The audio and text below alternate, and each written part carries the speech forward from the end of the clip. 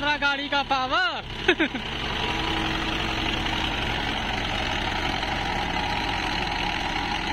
बिना केजबिल के ये दौड़ रही है।